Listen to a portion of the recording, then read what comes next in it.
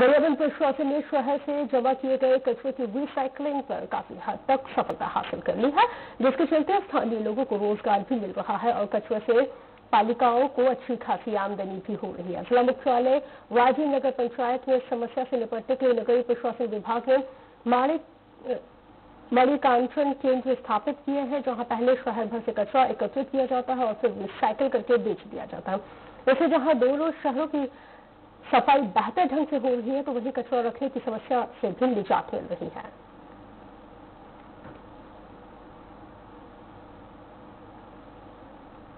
हाँ गीला कचरा अलग खान खान, सूखा कचरा अलग खान खान, झिल्ली अलग कर खान डिस्पोजल अलग कर खान, लोहा अलग कर खान, और गुड़ाकू डब्बा अलग, पानी बॉटल अलग, और कुरकुरे वाला झिल्ली अलग, और का कहते और जैसे पूरा हर हर सामान अलग अलग कर खान अभी तो बहुत बहुत ज़्यादा तो नहीं लेकिन कुछ दिख रहा है फ़ायदा।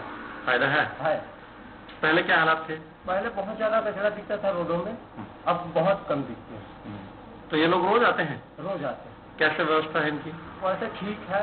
इन क्षेत्र में जो डोर टू डोर कलेक्शन है और कचरे का जो निष्पादन किया जा रहा है उसमें हमारे 31 वर्कर महिलाएँ और 12 रिक्शे, तीन टिपर तीन ट्रैक्टर लगे हुए हैं और घर घर से कचरा, व्यवसायिक संस्थानों से भी कचरा एकत्रित कर रहे हैं। उजाड़ भी मिल रहा है, आमदनी मिल रही है और जो कचरे को छाट के उसमें भी बहुत सी चीज़ें हैं, उसको भी बिक्री किया जा रहा है।